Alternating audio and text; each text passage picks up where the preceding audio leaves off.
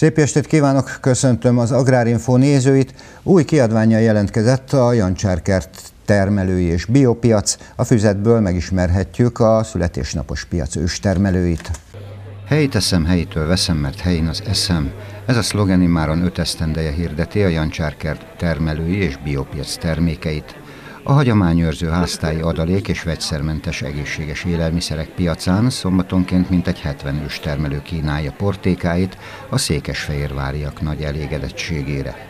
Készülünk mi is a megünneplésére, és elsősorban megköszönni a vásárlóknak és a szimpatizánsoknak a bizalmát ez az ötödik éve erre is egy kiváló alkalom lesz. És hát ebből az alkalomból szerettük volna ezt a köszönetünket kifejezni egy olyan kiadványjal, amelyben a Jancsárkert törzs árusai szerepelnek.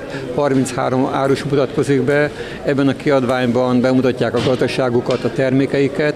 Ezzel is szeretnénk még a bizalmat tovább növelni a helyi termékek iránt és a nálunk a Jancsárkertben árusító árusok iránt.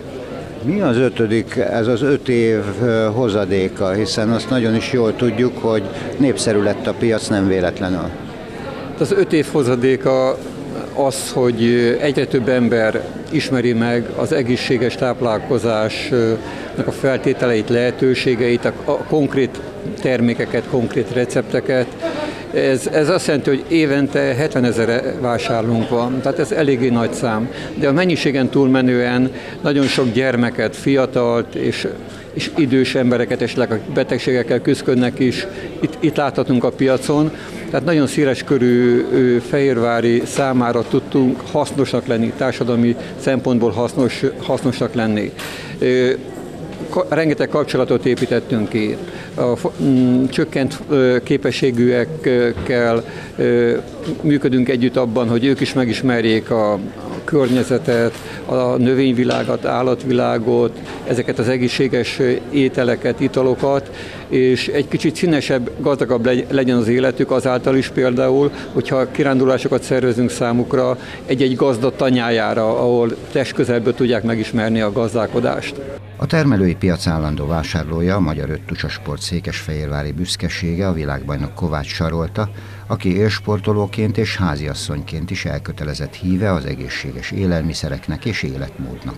Nagyon szeretünk ide járni, mivel helyben van minden, ami kell nekünk a háztartásban és az, a, az ételekhez. Nagyon fontos sportolnak, meg szerintem minden embernek, hogy egészségesen éljen, és a saját bőrünkön tapasztaljuk, hogy nagyon sokat számít, hogy mit teszünk és mikor. Úgyhogy mi tényleg rendszeres vásárok vagyunk, persze, hogy az edzés és a verseny időszak engedi, amikor tehetjük, akkor itt vagyunk, és mi is beszerezzük az alapanyagokat. Társa a mindennapokban a szintén világbajnok pentatlonista Demeter Bence számára is a Jancsárkerti biopiac termékei adják meg azt az erőt a felkészülés idején és a mindennapokban is, amely fontos, hiszen számára is elsődleges a minőség.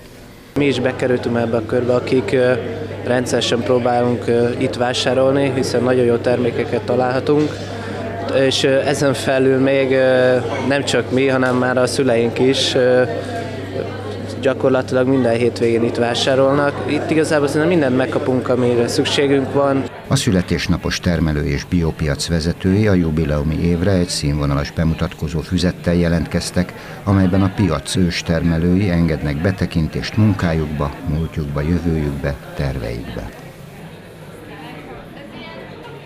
A szélsőséges időjárás alaposan megnehezíti az agrárgazdák dolgák, a legfőbb probléma a tápanyaghiány. A hétvégén meleg rekordok dőltek meg a megyében is. A búzamezők zöldelnek, a repcemezőkön egyre nagyobb növényeket látni. A januári időjárásra egyáltalán nem jellemző meleg, közel 10 fok körüli hőmérséklet így hat például a repcére. Látható ezen a repcén, hogy kicsit megindultak a növekedések, hajtás növekedések. A repcének már kiváló gyökérzete van, ha nagyobb fagyok következnek be, akkor a hajtáskezdeményeket akár fagykár is érheti. Ezen kívül van más probléma is. Ilyenkor a növény él. A vegetáció beindul, őszi búzáknál különösképpen, és nem az a baj, hogy a fiatal hajtások elfagyhatnak, eh, mert a búza viszonylag jól bírja a hideget, hanem hogy éhezik. Ilyenkor tápanyaghiány lesz. Pillanatokon belül látjuk majd a sárguló búzatáblákat, ami nem a növényvédelmi hiányosságot rejt magába, hanem a növényi éhezést. És tudjuk jól, hogy brüsszeli asztalgazdászok olyan jogszabályokat hoztak, akár a sötétzöldek, akár másnak a javaslatára, hogy nem lehet novembertől február közepéig nitrátérzékeny területen semmiféle bótol, semmiféle tápanyagot pótolni. Bizony, ez egy teljesen életszerűtlen jogszabály. A Nemzeti Agrárgazdasági Kamara elindította a folyamatot, amelyben ennek a megváltoztatását kezdeményezi Brüsszelbe, de hát azt kell mondani, hogy egy ilyen jogszabálynak a megváltoztatása talán még bürokratikusabb, mint a megalkotása. Következésképpen nagyon sok hatástanulmányt kell végezni, hogy ez megváltozzék. Én egy elég egyszerű módszert választanék, én ezeket a jogszabályalkotókat, akik Brüsszelbe fogalmuk nincs, hogy hogy változik az időjárás évek alatt, hát bizony idehoznám, és a januári időjárásra e, jellemző módon öltöztetném fel, sétáltatnám itt nagy örömmel a táblákon, és amikor le akarja a bundáját vetni, akkor azt mondanám, hogy ne vesd le, a naptárt nézzed, ne a hőérzetedet. Növénynek ezt nem tudjuk mondani. A növény él, vegetál, és tápanyagra van szüksége.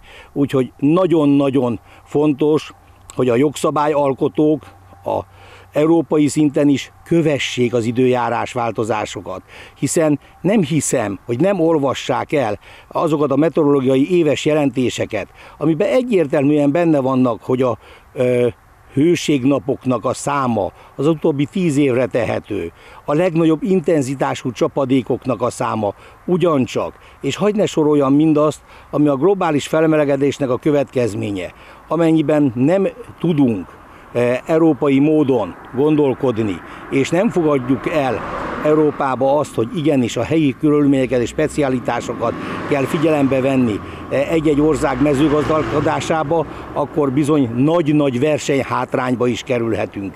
E, épp ezért igyekszik az Agrárgazdasági Kamara ezen életszerűtlen jogszabályokat nem csak országon belül, hanem az Európai Unió szintjén is kigyomlálni, hiszen a gazdáknak a megélhetése, a gazdáknak a jövője, valamennyiünk kenyere, úgy tetszik, ezen múlik. Ezek szerint akkor februárig nagyon nem lehet tenni semmit. Utána mit lehet tenni még, hogy esetleg ne legyenek nagyon-nagyon nagy károsodások? Hát természetesen február közepétől, nem nitrátérzékeny területen február elejétől azonnal pótolni kell a tápanyaghiányt, azonnal, ahogy lehetséges a táblára kell menni, de nem biztos, hogy az időjárás kegyes lesz hozzánk, és több csapadékot hozván lehetséges, hogy nem tudunk rámenni, hiszen víztelített lesz a talajunk, eh, nem akarjuk kitaposni a növényt, és bizony az még akkor hetekig várakozni fog arra, hogy tápanyaghoz jusson. Eh, tehát egy mezőgazdaságot egy természetet nem lehet kiragadottan szemlélni. Az csak is a környezetébe, a maga globalitásába lehet áttekinteni. Nem lehet kiragadott jogszabályokat akármilyen rész, parciális érdekeknek megfelelően meghozni, mert bizonyos érdekcsoportoknak ez szükséges Brüsszel vonatkozásába, hanem igenis meg kell, át kell ezt tárgyalni, megfelelő hatástanulmányokat kell elvégezni a bevezetésükkor is, és nem csak akkor, amikor már igény van azoknak megváltoztatására. A kártevők is azért szaporodnak, gondolom ebben az időben. Mit jelent ez, a nézzük a növényeket? Hát a kártevők köszönik szépen, nagyon jól érzik magukat. E, a hideg e, nem megléte egyértelműen a továbbélési lehetőségeiket eh, nagy mértékben javítja, ezért rögtön tavasszal, eh, pár hét után már is gradációra lehet számítani, hiszen az egyetszámuk olyan mennyiségbe fogja túlélni a telet, Eh, amely a későbbiekben hát bizony komoly gondokat rejthet magába. De nagyon komoly gondokat rejthet a kertészet vonatkozásába az a tény, hogyha ez a meleg időjárás még napokig, netán több mint egy hétig még fent marad, akkor bizony megeshet, hogy a rügypikkelyek megpattannak. És mindaz a viaszos réteg, amit a természet hoz létre épp azért, hogy a fagyhatások eh, ne érjék a rügyeket, hiszen nem tud a rügypikkelyek közé a víz behatolni, e, nyilvánvaló a kártevők sem. Ez, hogyha megváltozik abba a pillanatban, e, komoly gondot okoz, hiszen egyrészt újabb ilyen réteget kell felvinni, amelyik megpróbálja a rügyet védeni, de hogyha végletes, végletesen megdagad és megfakad, akkor bizony más növényvédőszerekkel kell megakadályozni azt, hogy a fertőzés léphessen fel, de ez nyilvánvaló, azt jelezi, hogy akkor több hétig még ilyen időjárás van. Tehát erre most eh, nem kell közvetlenül számítanunk, csak hogyha továbbra is ez a meleg időjárás fennmarad. Komoly gondot jelenthet a kertészetben, ha marad ez az időjárás, a rügyvékelyek ugyanis megpattanhatnak. A víz így behatol a rügyekbe, és a kártevők is jobban be tudnak hatolni. A rügypikkelyeket ilyenkor viaszos réteggel kell pótolni. A szakember szerint erre most nem kell közvetlenül számítani, csak ha ez a meleg időjárás több héten át még fennmarad. Fehérváron vendégeskedtek a történelmi borvidékek képviselői. A Szent István Művelődési Házban a bormustrán bemutatkoztak a Fejér megyei termelők is. A jóbornak is kell cégér, Harmadik alkalommal adott otthont a Nagyfehérvári Bormustrának a Szent István Művelődési Ház. A találkozón idén is bemutatták nemes nedőiket az ország történelmi borvidékeinek legjelesebb pincészetei. Mindenképp sokat kell foglalkozni a borral, sokszor kell találkozni a borászokkal, illetve hát a közönséggel is tartani kell a kapcsolatot, hiszen akkor nem tudnák, hogy mi történik itt Fehérváron a boros rendezvények környékén. Ki mindenkit sikerült ide csábítani ebben az esztendőben? Hát ugye itt van velünk most már azért évek óta a Borbé családi pincészet, ugye ők, ők azért visszatérő vendégek. Most Villányból is két borászatunk van, a Gere Tamás és Zsolt pincészete jött el, illetve Jó Tamás is eljött. Morról három pincészetünk van, Gesslerék ugye évek óta visszatérő vendégeink, Sáfrán Andrisék, illetve a Friday Winery is eljött, illetve hát ugye még Egyek Buda is egy kicsit a miénk, innen is négy pincészet jött el. Itt vannak vabrikék, ők egy teljesen új résztvevői a bormustrának, reméljük, hogy a nagy közönségnek is tetszeni fognak a borai. Egyeki kúria jött el, Csóborpincészet és az Elsimon borászat. És hát akkor még itt Tokajból, Mádról három pincészetünk is van, Holdvölgy, a Zsiraiék, illetve rögtön mondom Ferdinánd pince, és Cézár Pince Zalából, ő is most már másodszor van velünk, és Érmellékről Helyt Pince, őrájuk nagyon büszkék vagyunk, nagyon szeretjük a boraikat, és, a, és hát mint emberek is szerintem egy fantasztikus Tetten érhető, hogy nem csak itt Magyarországon, de a világon mindenütt egyre inkább a nívós gasztronómiai kultúra része a bor. Ehhez én azt gondolom, hogy egy ilyen rendezvény mindenképpen hozzájárul. Igen, hát ez nagy feladatunk, hogy egy kicsit a, a, a borkultúrát beintegráljuk a gasztrokultúrába. Gyakorlatilag a borkultúra most már a vidéki Magyarországon is egyre inkább kezd feljönni, viszont, viszont ez még mindig nincs benne köztudatban, hogy, hogy ez egy ilyen, ez, ennek a gasztrokultúrának a részének kéne, hogy legyen, de hát reméljük, hogy az ilyen rendezvényekkel ez, ez minél előbb megtörténik. A Fejér megyei pincészetek is felvonultak a kóstolón. Az etyek budai és a móri borászok is elhozták az elmúlt évi termésből készült borok legjavát, a csákberényi sáfránpincészet eredményes évet zárt. Én most ide a bormustrára is csak idei borokat hoztam, mert szerencsére elfogyott a tavalyi évjárat, de szerintem egy kiváló évjáratról beszélünk idén, 17-es évben. Erősítsen meg, hogy a gasztronómiának most már egyre fontosabb része a bor. Hát szerencsére igen, de nagyon ö, egyre többen kezdenek az ételekhez párosítani borokat, és nagyon sokan kezdenek ráállni arra, hogy minőség és jó borokat kóstolhassanak és próbálgassanak ki. Mindenki megtalálja a saját szájízének való borokat, tehát egyre, egyre nagyobb divat lett ez most a, a ebben az időben, tehát manapság. Az Agárdi Elsimon pincészet új bor kollekciója a tradícióknak megfelelően a könnyű üdeborokat részesíti előnyben a fajta választék kiszélesítésével. A borászatban is a, a, azok a technológiai e, folyamatok, amelyek manapság már jó e, tíz éve ugye itt a, a, a borászatban elterjedtek, illetve azokat a korszerű borászati egyrészt kezelő és egyéb más új élesztők, új segédanyagok, és hát az embernek a, a tapasztalata az, ami mindig, én is mindig szinte minden évben újabb és újabb innovatív dolgokat találunk és keresünk. És az azt gondolom, hogy ez a titka, hogy az ember, ugye én is már jó néhány éve a szakmában vagyok, de mindig újat és újat be kell vinni a, a, a köztudatba, idézőjelben a köztudatba, de én azt hiszem, hogy sosem lehet megnyugodni, mert, mert tényleg mindig keressük az, ami, ami egyre népszerűbb, és hát nem beszél arról, hogy a fiatal generáció is meg kell célozni, és a fiatalok pedig szeretik mindig az újat, és nem a szokványosat.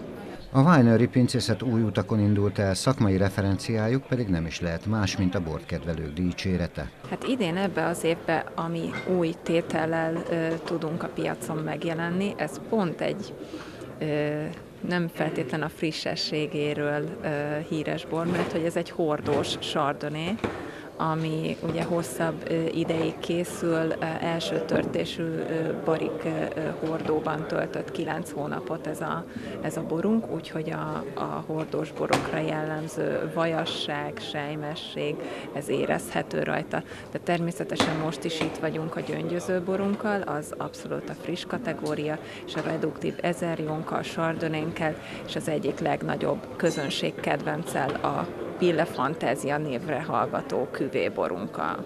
A találkozó idén is bizonyította, hogy Magyarország történelmi borvidékeinek szőlősgazdái jó úton járnak, az őshonos szőlőfajták gondozása mellett lépést tartva a korral, új korszerű technológiával, megtartva a kézműves hagyományokat, a legkülönlegesebb borokkal kényeztetik el a fogyasztókat. Igaz, hogy tradícionális pincének valljuk magunkat, a hagyományok szerint éltünk, de mára már inkább a modern borászat felé kezdtünk el mozdulni, és teljes egészében a reduktív borászatra álltunk be.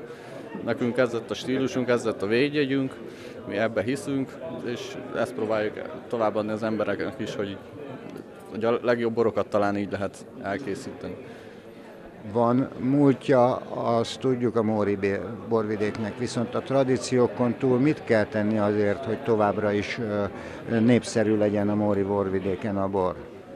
Hát igazából Móron ezen könnyű dolgunk van, mert tényleg mondhatni, hogy az összes Móriban benn van a bor szeretete, és a föld iránti szeretet is de és próbálunk minél több rendezvényre eljutni, minél több vásárlónak az asztalára eljutni, hogy, és vinni a Móri borvidék hírnevén.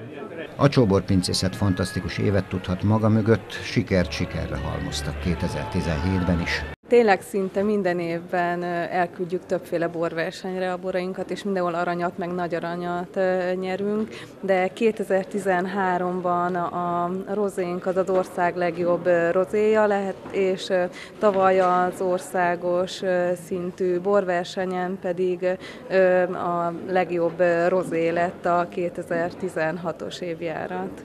Érződik, hogy egyre inkább fontos része a gasztrokultúrának a bor?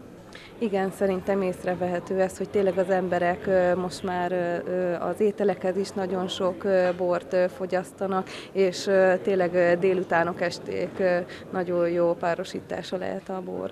Páncsi Viktória és munkatársai hisznek abban, hogy a gasztrokultúra fejlődése a világban tapasztalható trendnek megfelelően Magyarországon is hódít, és a jó borok továbbra is az ünnepi asztalok elengedhetetlen részei lesznek.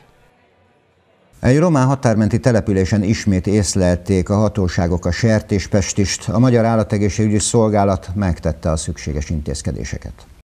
Beszélgettünk már a sertéspestisről, mint rendkívül veszélyes betegség, amely Kárpát-Ukrajnából indult, Lengyelország Kárpát-Ukrajnából, és veszélyezteti a hazai sertésállományt. Most úgy tűnik, hogy Csehországba is megérkezett, ami azt jelenti, hogy nem sikerült megállítani. Beszéljünk először önmagában a betegségről. Az afrikai sertéspest is egy vírus okozza, amely csak a házi sertéseket, illetve a vaddisznókat betegíti meg. Tehát fontos hangsúlyozni, hogy az ember maga ettől a vírustól nem veszélyeztetett, viszont a hazai sertésállomány igenis nagy veszélybe van ettől a vírustól. Hál' Istennek a vírus még nincsen Magyarországon, és két feladatunk van. Az egyik, hogy megpróbáljuk megakadályozni, hogy ez a vírus bekerüljön az országba. Sajnos, mivel hogy a vaddisznók is terjesztik, ezért ez a feladat nagyon nehéz. A második, hogy amennyiben bekerülne az országba, azt a lehető leggyorsabban felfedezzük, és próbáljuk helyhez kötni, és megakadályozni a továbbterjedését. Ez a jelenlegi járvány Oroszországból indult, és elérte már az Európa, illetve már az Unió határait is. Lengyelországba, Lettországba, Litvániába már néhány hónappal ezelőtt megérkezett, és Lengyelországban már házi sertéseket is megfertőzött és július végén, július 26-án Csehországban is megállapították magát ezt a vírust két sertésben, azóta pedig kicsit rosszul mondtam, mert június 26-án állapították meg, és az, az azóta eltelt időben még további 25 vaddisznóban, elhullott vaddisznóban mutatták ki a vírust. Ez azt jelenti, hogy Csehországban már ott van ez a fertőzés.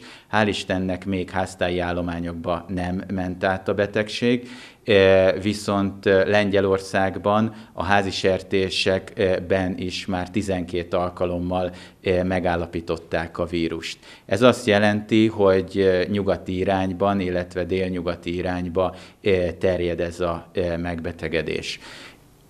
Rendkívül fontos kérdés, hogyha valaki hasonlót észlel és tapasztal, a határmenti erdőkre gondolok elsősorban, mi a teendője, mi az elsődleges feladata?